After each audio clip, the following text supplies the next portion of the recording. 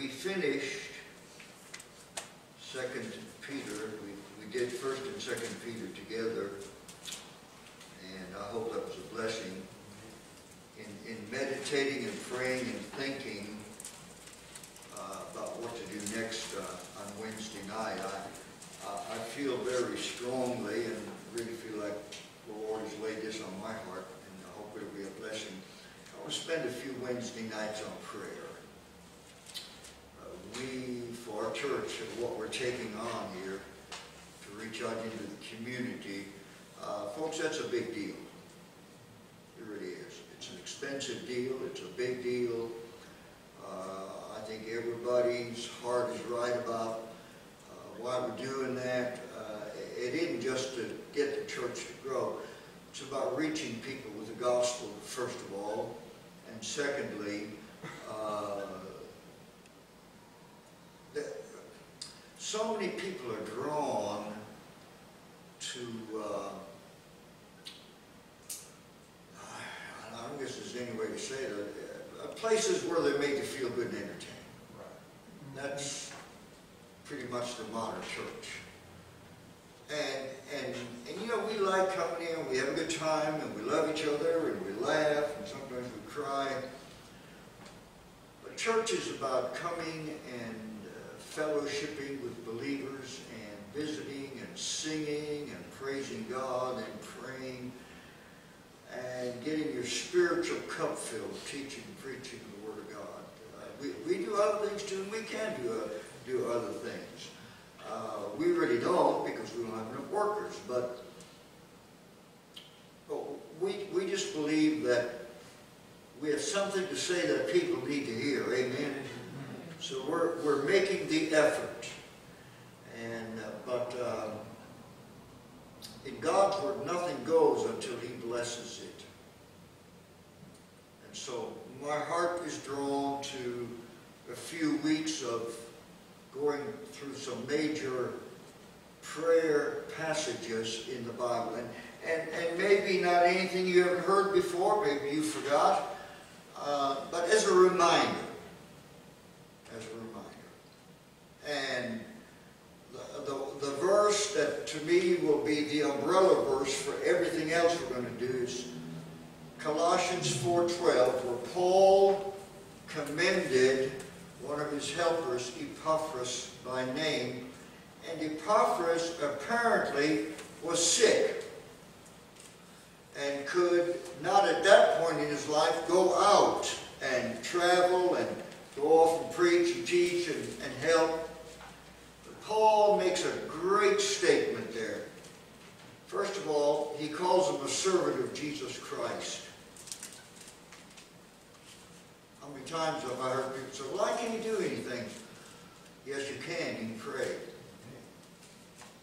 Only heaven will tell us the whole story about some churches that were blessed revival that was brought and people that were helped and people that were even healed and God met needs because somebody at home, because they were shut in, was praying.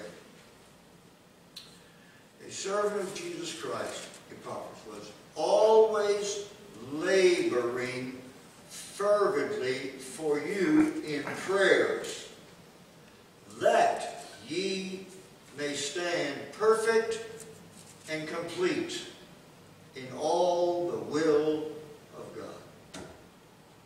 Is that a good verse or what? You know, that, that, that, that's not a difficult verse to interpret.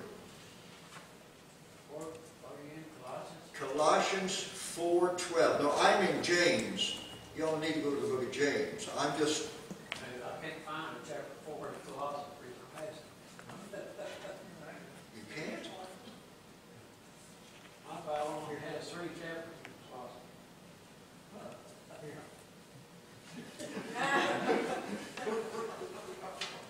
Man, he done left the King James Mine has chapter 4, Colossians chapter 4. What, what, you, you, are you, you, you're the wrong book. I have my hand on the floor.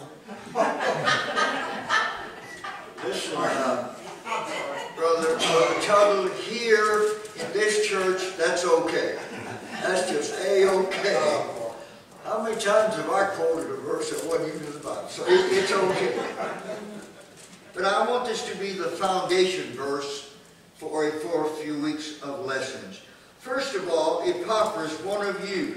This was not a super special, one of a kind that God called, super spiritual, has mastered the art of reaching out to God. No, Epaphras, one of you.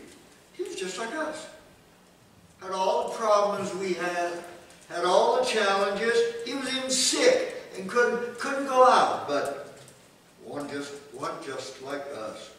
A servant of Christ. Folks, we're, we're servants one of another.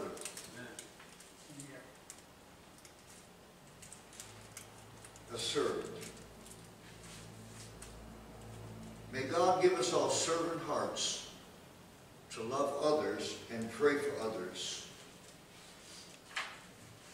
He was just as much a servant at home on that sick bed as the Apostle Paul was out starting churches and preaching. A servant of Christ. Saluted you. He loved those people. Good motive for praying. To love people. Always laboring fervently. Here's the hard part about prayer. First of all, while we all have, or hopefully have, a time a day when we get alone and read the Bible and have our prayer time, but prayer is something you do all the time. As a matter of fact, praying ought to be as natural to your spirit as breathing is to your body.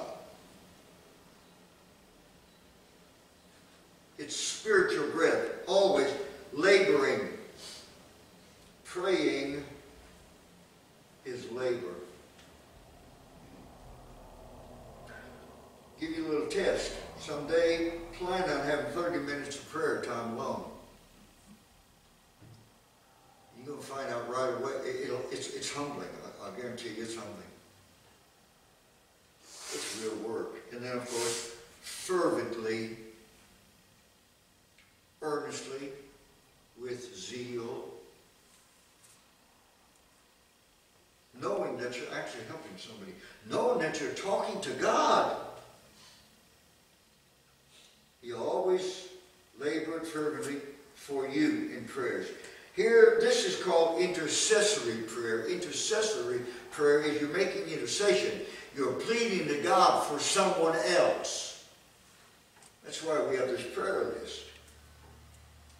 And here's the desired end, that ye may stand perfect and complete in all the will of God.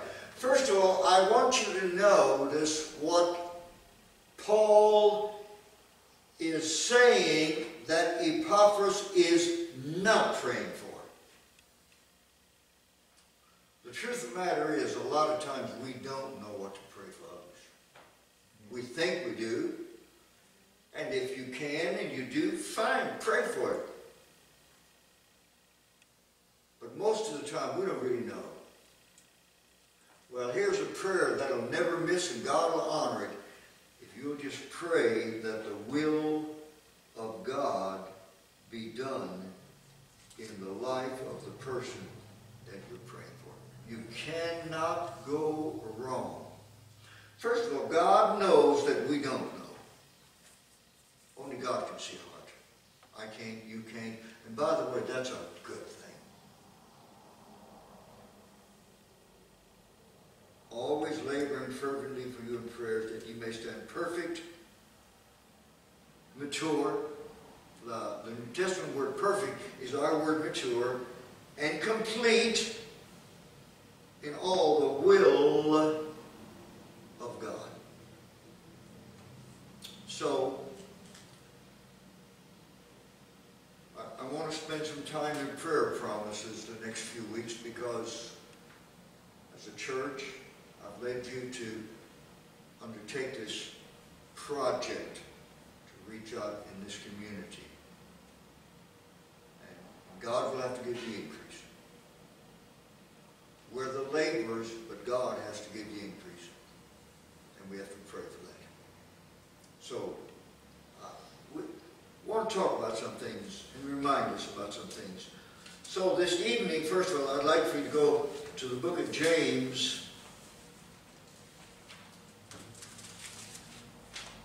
chapter number 5, verse number 13. While you're turning there, I, I want to remind you a couple of things about James. James is the equivalent to the book of Proverbs in the Old Testament.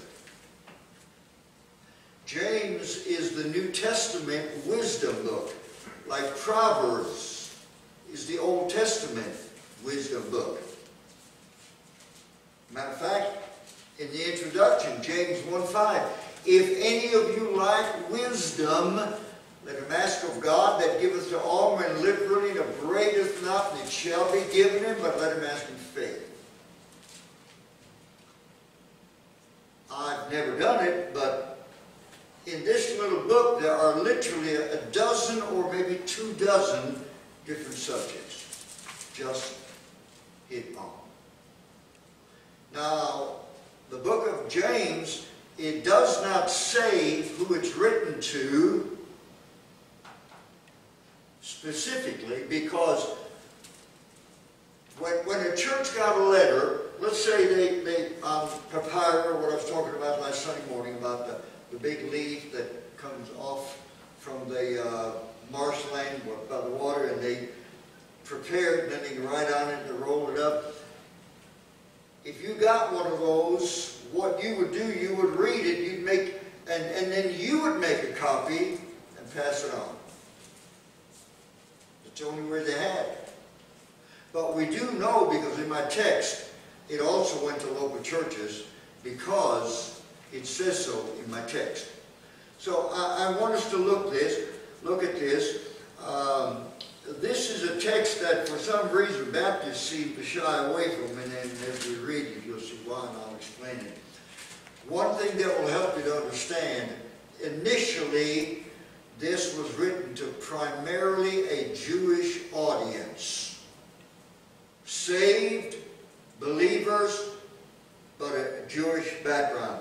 And that'll help us here in just a little bit. So, um, James, on the subject of prayer, in, in James 5, beginning in verse number 13, is any among you afflicted? Afflicted is a general word for all kinds of difficulties, trials, and tribulations, from sickness to financial to enemies to you name it. Is any among you afflicted? Let him pray. Psalm 50, 15, call upon me in the day of trouble.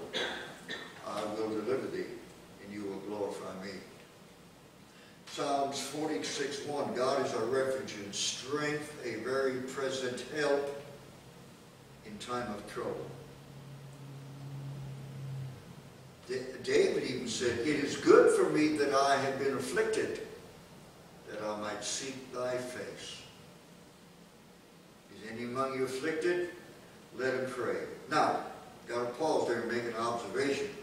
There are people who do, Christians, well-meaning people, who, who refuse any kind of medical help. And they use this right here for their justification. Folks, you cannot just take a half of a verse, pull it completely out of the Bible, and then make it to justify what you wanted to say. Paul told Timothy, get medicine for stomach problems. Luke was a physician. He attended the Apostle Paul in his traveling. There is nothing wrong with a Christian going to a doctor. But now listen very carefully. I would caution you about when you get sick, you never ask God about it, just run straight to the. I would caution you about that. Remember the good King Asa in the Old Testament? God said, because You sought to the physicians without coming to me first. This disease is upon you. As a Christian, a part of being a Christian, everything in your life you take to God. And I've always said, if a pill will fix your problem, take the pill. Medicines of the Lord. Bible has a lot to say about medicine. Is any among you afflicted? Let him pray. Is any married? Let him sing psalms. If you call on God when you're sick, call on God and rejoice when you get well. Amen. Now then, is any sick among you? We are going now to sickness, sick church members. Is any sick among you? Let him call for the elders of the church. Let them pray over him, anointing him with oil in the name of the Lord. Okay, now, this is where Jewish background comes in some. It, and it, we as being biblical, King James literalists, uh, we have to take this at face value. Uh, if you're sick, call the leaders of the church, the pastor and the deacons. Let them come and have prayer. And by the way, we do that. But when people travel, when, when there's sickness, we, I bring the deacons up here. We pray for people. We go to the hospital uh, to pray for people before they have surgery. After they get back home, we go in the home. We practice that. So first of all, if you, if you come down sick, don't be embarrassed, don't be ashamed, don't be bashful. We love doing our job. Call us. We would love to come to you wherever you are and pray for you. So, is any among you sick? Let him call for the elders of the church and let them pray over him. That praying over him has the conotone and the overtone and most likely the laying out of hands. So let me talk about laying out of hands for just a minute. There's nothing wrong if you're called to go to home to pray someone for you to lay hands on them. If it's okay with them, and as long as they understand, there is no spiritual power going from the hands of the person that's doing the praying to their hand. It is a spiritual emblem of commitment to the Lord.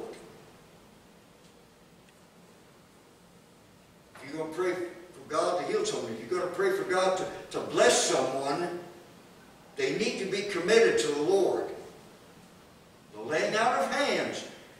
And I know, say, we Baptists, we run away from that because some other denominations have gone nuts over that. But biblically speaking, there's nothing wrong with that if it's understood what it means and what it does not mean. And also, those of us going to pray have to have spiritual discernment as to whether that's even appropriate for the person we're praying for.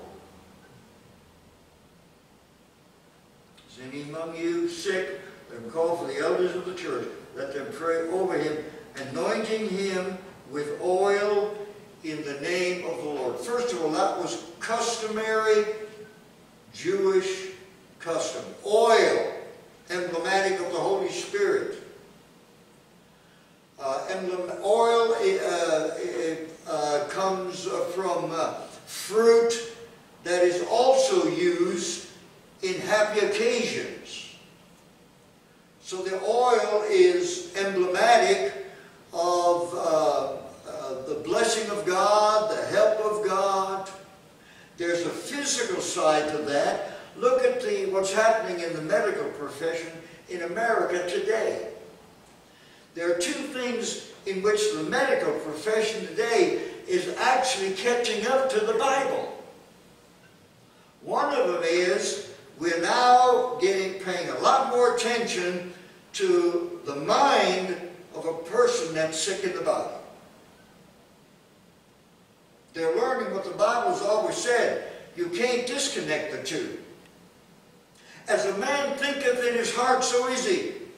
A merry heart doeth good like a medicine. And many other verses.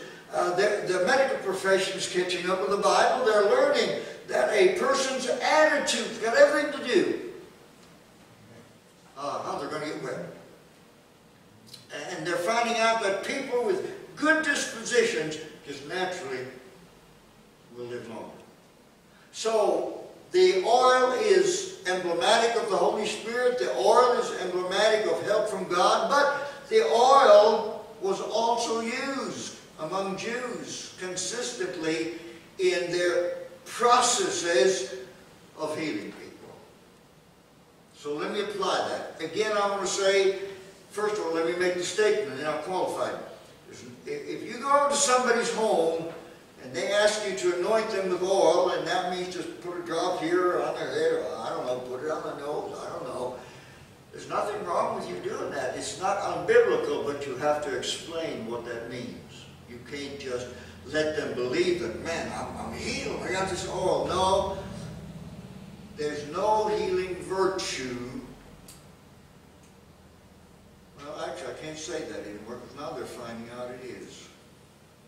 Uh, I used to be able to say that there's no healing virtue in the oil, but the, but the truth that there is. That's the reason Jews used it.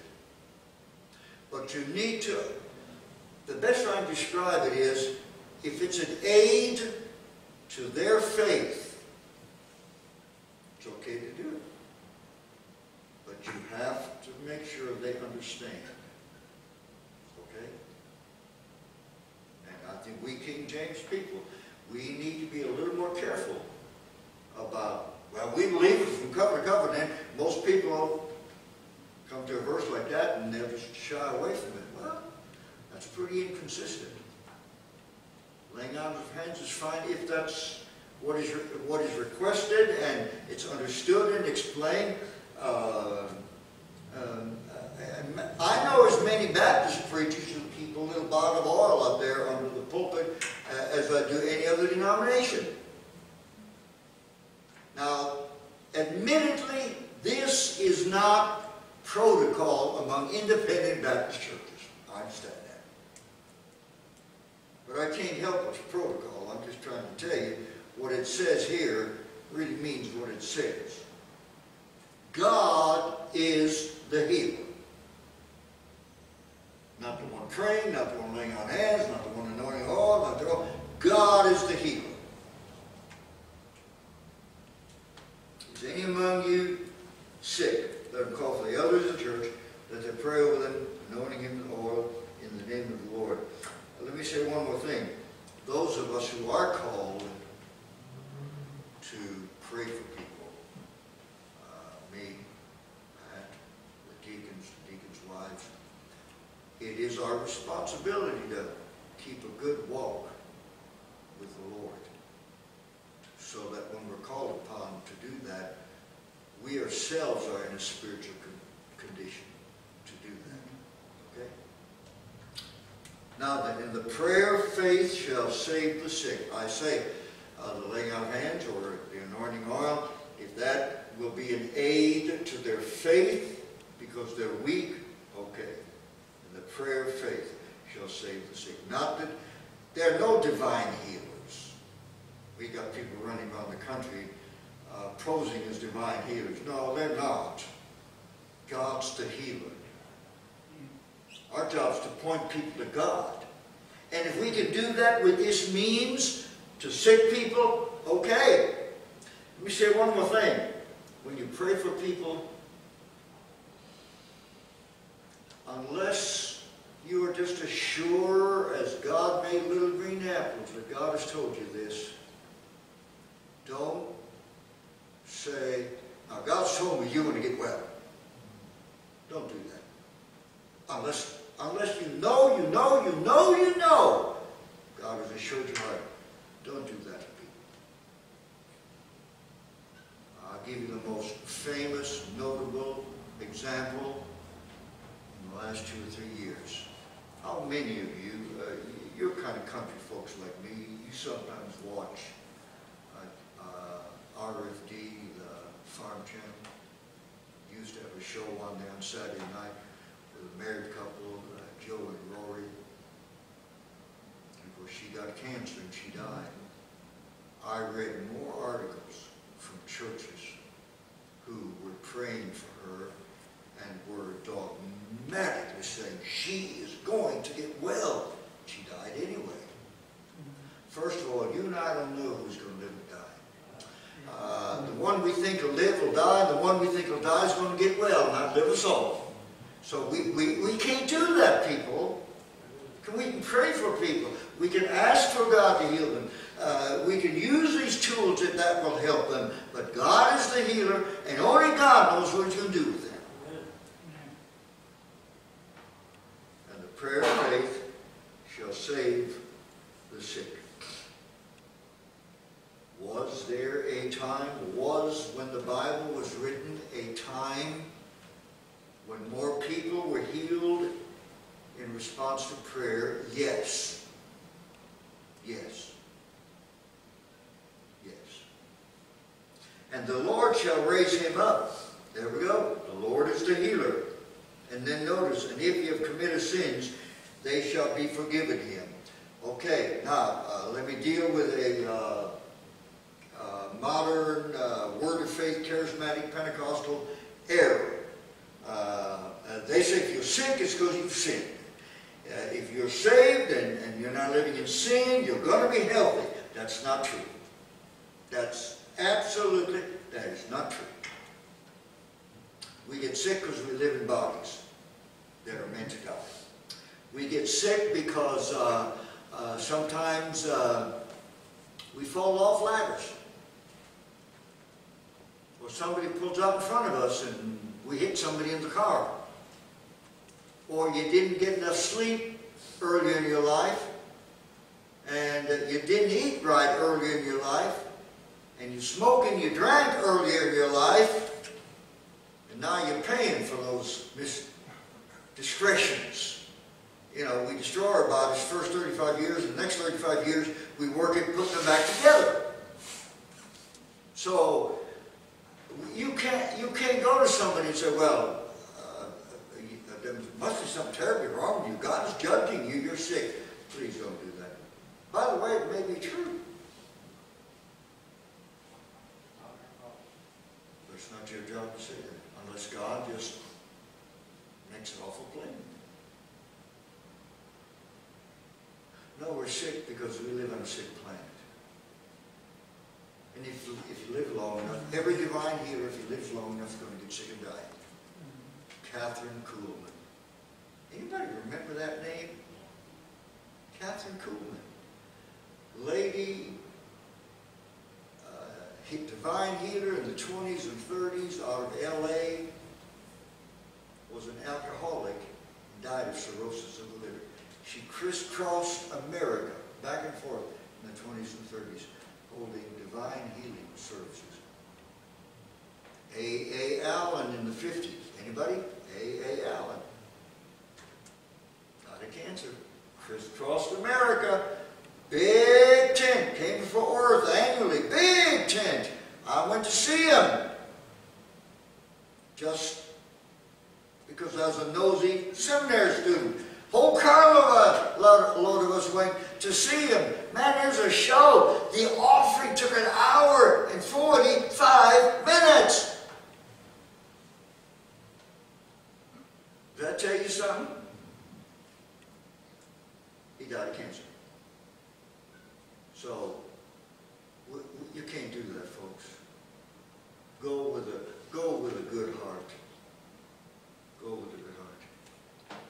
And, but if there is sin, then lead them in a prayer of confession. If there is sin, if they're believers, uh, lead them in a prayer of, of uh, confession. It shall be forgiven them. Now, the main thing is pray for God's will to be done in that person. Amen? Now, this thing that we're going to start in a few weeks, pray for God's will to be done in that. Sure, we want to see people come. Sure, you know, I got a whole list of things I'd like to see come out of that, but the will of the Lord be done. You can't ever go wrong doing that. Verse 16, "Conf- confess your faults one to another.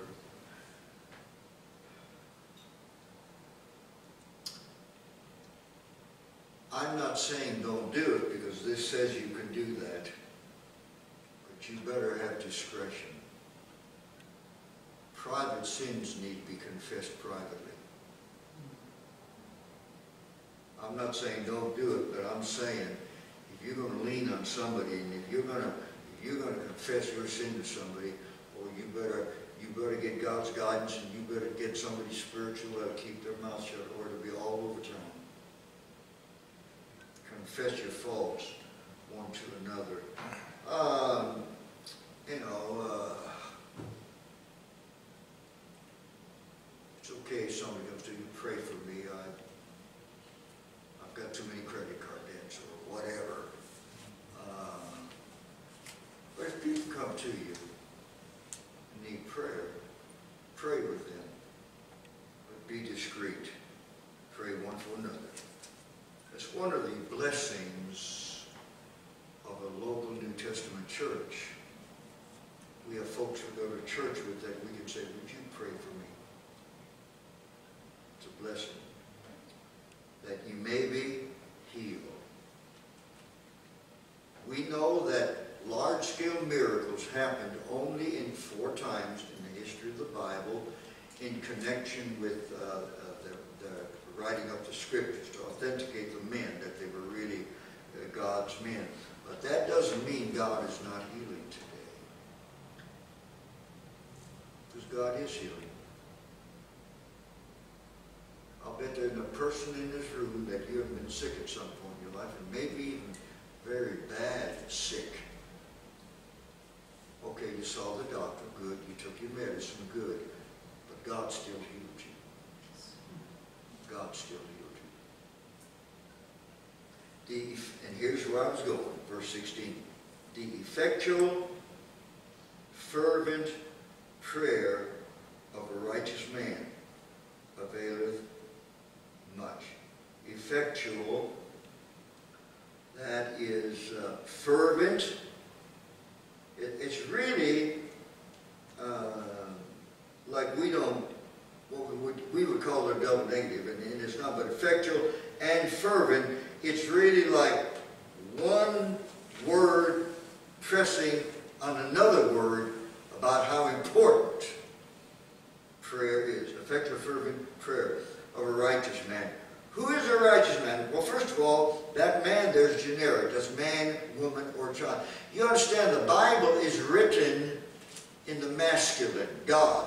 And everything in the Bible is addressed masculine because man was made in the image of God. Woman was made in the image of man. And it's not putting the ladies down at all. So if somebody tries to give you a gender-neutral Bible, there is one out now, uh, ju- you know, just say no thanks.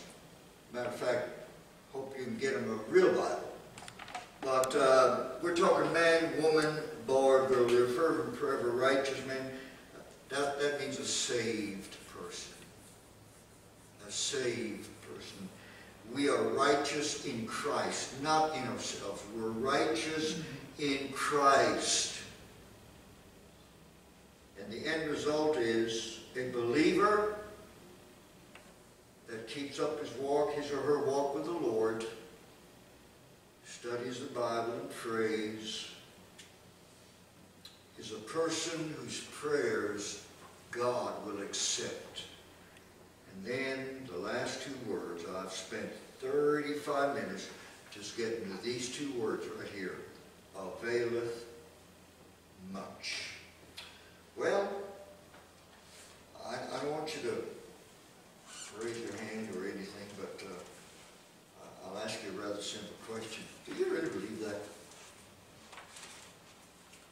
Do you really believe that? And if you really believe that, will you pray like that? I know, nothing new, but encouragement. That's my goal here for, for a few Wednesday nights as we work through some of the major